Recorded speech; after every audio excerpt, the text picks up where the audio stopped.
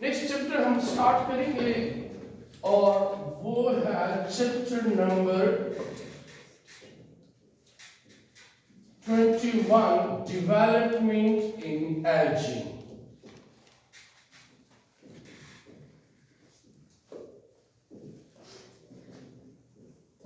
اس chapter میں دو چیزوں کو ڈسکس کیا ہے ڈیولپمنٹ ان ایجنگ سب سے پہلے سیل ڈیویژن ہوتی ہے۔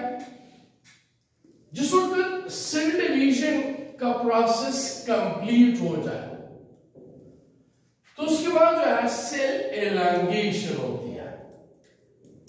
مین پہلے فیز آف سیل ڈیویژن ہوگا، پھر اس کے بعد فیز آف سیل ایلانگیشن ہوگا۔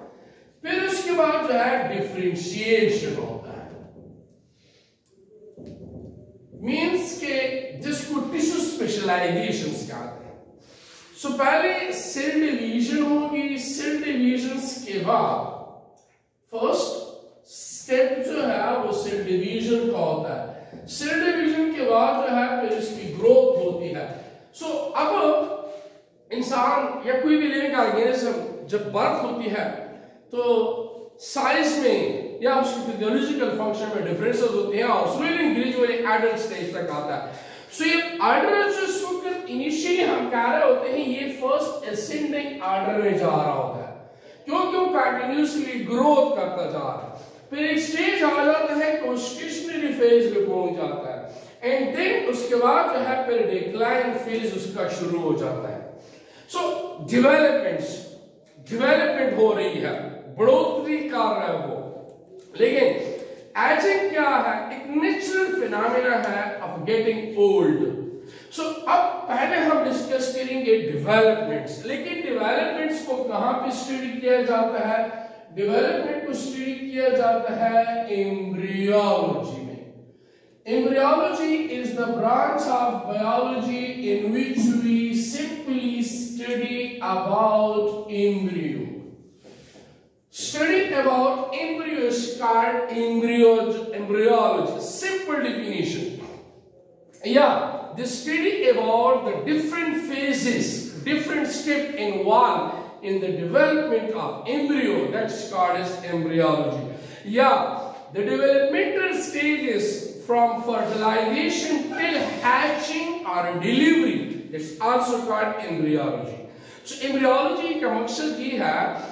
کہ امبریو فارمیشن کیسی ہوئی امبریو فارمیشن کے بعد اس کی جو ڈیولپمنٹ ہو رہی ہے وہ کس طرح ہوئی، اس کے بعد اس کی ہیچنگ کس طرح ہو رہی ہے، اس کے بعد اس کی ڈیلیوری کیسے ہوئی، یہ ساری چیزیں ہم کسی میں ڈسکس کرتے ہیں امبریولوجی میں ہم اس کو ڈسکس کرتے ہیں۔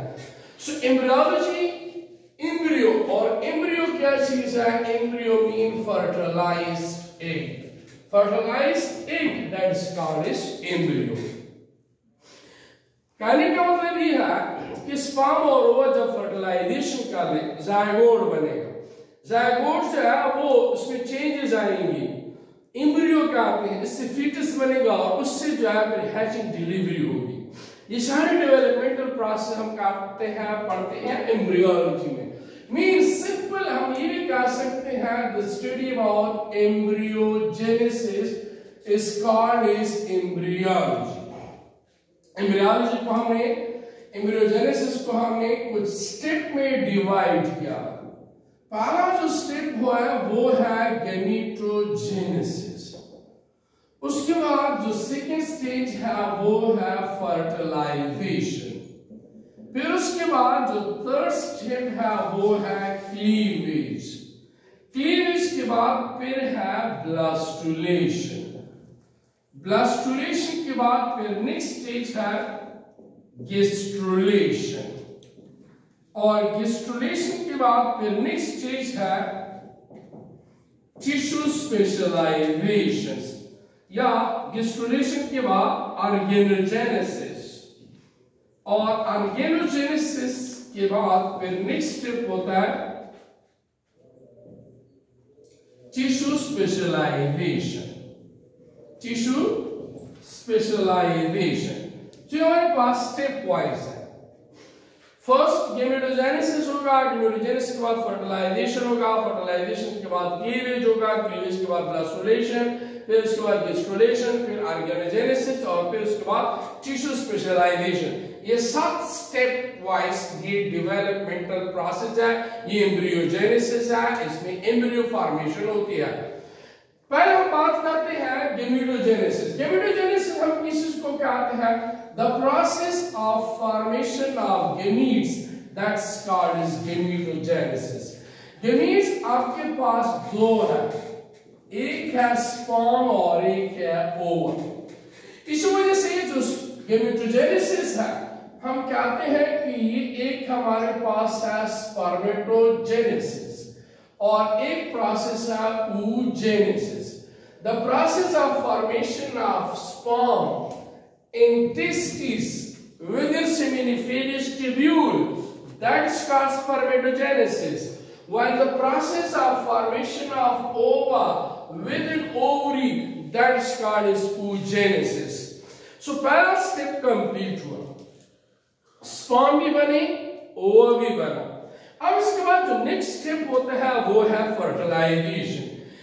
یاد رکھیے ویسے نارملی تو فرٹیلائزیشن دو ٹائپ کا ہے۔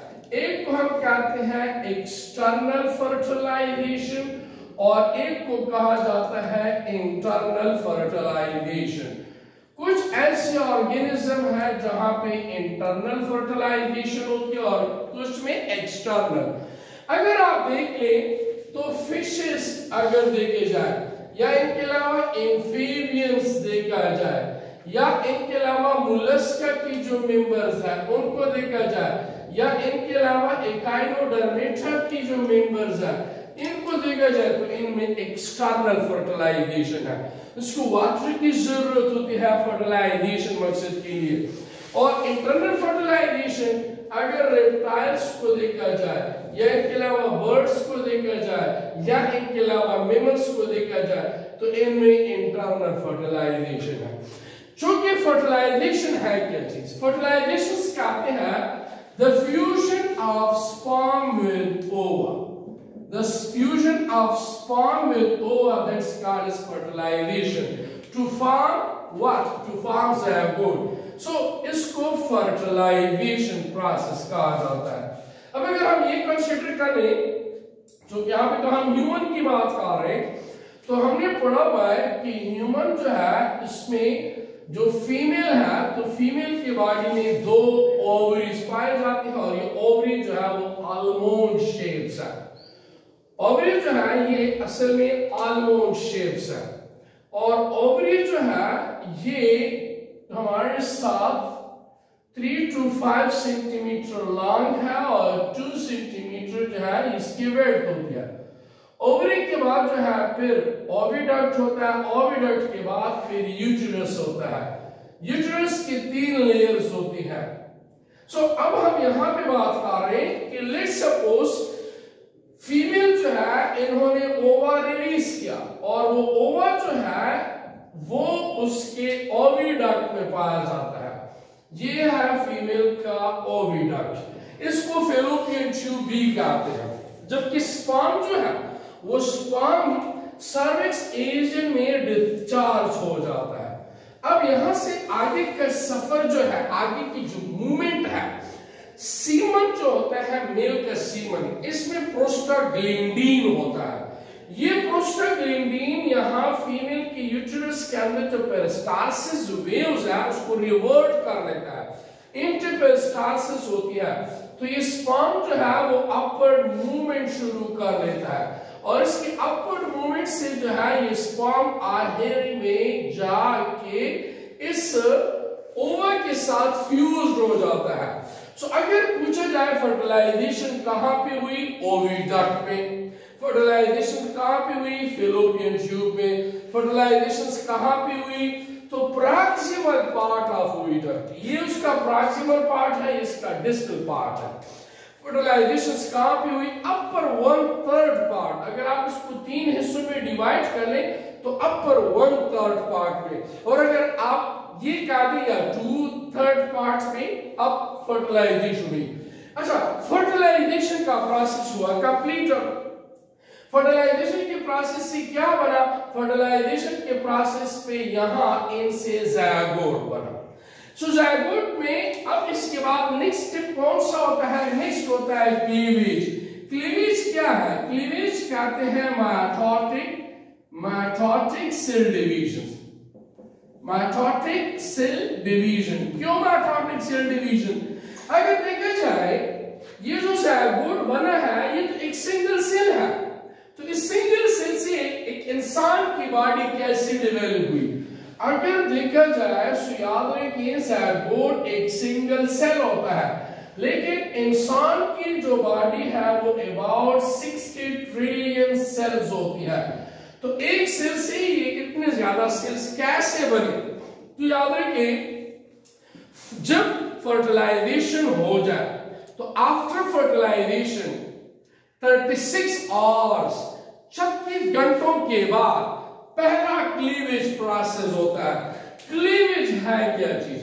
لیٹ سپوز آپ یو کنسیڈر کر لیں کہ یہ ہمارے ساتھ زائگوٹ ہے۔ اور یہ زائگوٹ جو ہے، ایک سنگل سیل ہے۔ یہ سنگل سیل ہے۔ تو کلیویج میں کیا ہو جائے گا؟ یہ جو فرسٹ کلیویج ہے فرسٹ کلیویج تو اس فرسٹ کلیویج کی وجہ سے یہ زائگوٹ دو ڈاکٹر سیل میں ڈیوائڈ ہو جائے گا۔ ان ڈاکٹر سیلز کو کیا کہتے ہیں؟ بلاسٹومرز کہتے ہیں۔ اگر یہ دونوں سیل ایک دوسرے سے سیپریٹ ہو گئے، تو ٹوینز بنتے ہیں۔ ایسے ٹوینز کو آئیڈینٹیکل ٹوینز یا میٹرنل ٹوینز کہا جاتا ہے۔ اس کے بعد پھر کیا ہوگا؟ اس کے بعد سیکنڈ کلیویج ہوتا ہے۔ سو سیکنڈ کلیویج میں کیا ہو جائے گا at the right to the first one at the right to the first one تو ان سے اس وقت جو ہے دو سیل بنے اب اس وقت ان سے چار سیلز بن جاتے ہیں اس کے بعد پھر کیا ہو جاتا ہے تھرڈ کلیویج ہو جاتا ہے تو تھرڈ کلیویج میں کیا ہو جاتا ہے اب فور سیل سے کتنے سیل بن جائیں گے ایٹ سیلز بن جائیں گے اب یہاں پہ ایٹ سیلز آ گئے اس کے بعد پھر کیا ہوگا؟ اس کے بعد پھر فورتھ کلیویج ہوگا۔ تو فورتھ کلیویج میں کیا ہو جائے گا؟ ان سے سکسٹین سیلز بن جائیں گے۔ سو سکسٹین سیل سٹرکچرز کو ہم کیا کہتے ہیں؟ مرولا کہتے ہیں۔ سو یہ مرولا ابھی بھی سیل جو ہے وہ لوزلی اٹیچ ہے۔ اس کے بعد پھر کیا ہوگا؟ پھر اس کے بعد جو ہے ففتھ کلیویج ہوگا۔ اور ففتھ کلیویج میں کیا ہو جائے گا؟ ان میں 32 سیلز بن جائیں گے۔ اب ہر ایک سیل جو ہے، کیا ریلیز کرتا ہے؟ ایل سیلیکٹین ریلیز کر لیتا ہے۔ یہ ایل سیلیکٹین کیا کاز کر رہا ہے؟ یہ کمپیکشن کاز کر رہا ہے۔ اس کو ٹائٹ کر لیتے ہیں۔ اب اسے ایک دوسرے سے سیپریٹ نہیں ہو سکتے۔ اب اس کے بعد کیا ہوگا؟ ان 32 سیل سے اب 6 کلیویج ہو جائے گی۔ سو so کلیویج کے بعد ان سے کتنے بن جائیں گے؟ 62 64 سیلز بن جائیں گے 32 سے 64 پھر اس کے بعد کیا ہو جائے گا اب 7 کلیویج ہو جائے گا سو 7 کلیویج میں ان سے کتنے سیل بن جائیں گے 128 سیلز اب یہ پروسیس چلتا رہتا ہے کلیویج کیا ہے سمپل مائٹوسس ہے یہ پروسیس چلتا رہے گا لیکن جب سیلز کی تعداد 100 سے زیادہ ہو جائے یا جب سیونتھ کلیو ایج ہو جائے، تب کیا ہوگا؟ یہ جو زائگوٹ یہاں پہ بنا ہوا ہے، یہ زائگوٹ کیا ہو جائے گا؟ اب یہ زائگوٹ ان کی امپلانٹیشن ہوگی۔ اب یہ زائگوٹ کدھر گرے گا؟ یہ جو ہمارے پاس، یہ جو یوٹرس ہے، جو کہ تین لیئرز سے بنا ہوا ہے اینڈومیٹریم مائیومیٹریمز اور پیریمیٹریمز اس میں امپلانٹیشن ہوگی۔ یہ جو ہے، اس کی امپلانٹیشن ہو جائے گی۔ سو جو اس وقت یہاں پہ ان کی امپلانٹیشن ہوتی ہے سو یہ تھری ٹو فور ویک گزر جاتی ہے۔ یہ کلیویج پروسیس چلتا رہتا ہے۔ کلیویج کیا ہے؟ میٹاٹک سیل ڈیویژن کیس پروفٹ کنٹینیو ہوگا مین مائیٹاسس ہوگی۔ لیکن اس وقت اب سٹیج چینج ہو جائے گا۔ سٹیج کو ہم کیا کہتے ہیں؟ بلاسٹولیشنز کہتے ہیں۔ اور بلاسٹولیشن میں کیا ہو جائے گا؟ بلاسٹوسی کیوٹی بنتی ہے۔